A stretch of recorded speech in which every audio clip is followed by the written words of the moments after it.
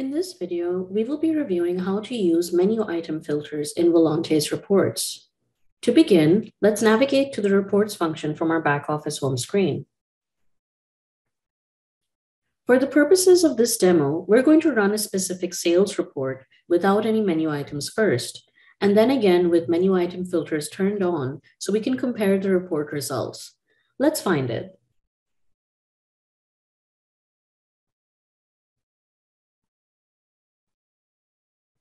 Here's the sales report, grouped by categories, groups, and menu items. I'm going to run it for a time interval that I have some data for.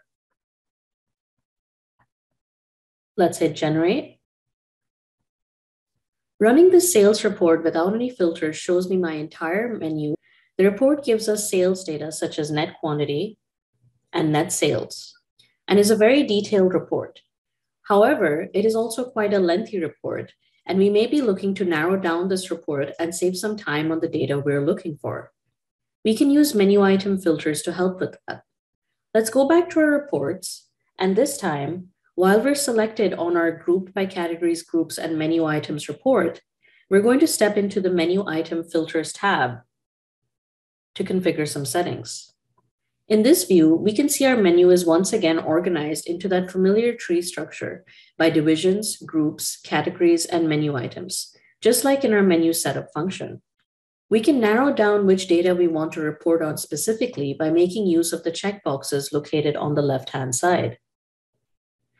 We're going to expand into the Volante Burgers menu and look for a specific menu item we're interested in seeing sales data about. Let's say we were curious about how some of our beverages performed. Specifically, let's say I wanted to look at how my hot drink items performed. I can select the checkbox next to the hot drinks category. And if I expand out the hot drinks category, I can see that all my hot drinks are selected. Now let's generate our grouped by categories, groups, and menu items report again and see what having a menu item filter applied looks like. Let's hit generate.